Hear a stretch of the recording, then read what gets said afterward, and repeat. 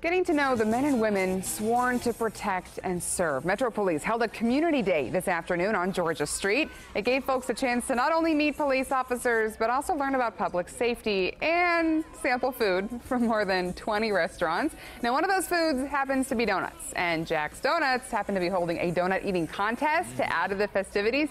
You see those ladies there, you know, that's our Brittany Lewis and Emily Kinzer who took part in the donut eating contest. Brittany got through one. Emily didn't actually get that far in the two minute time period.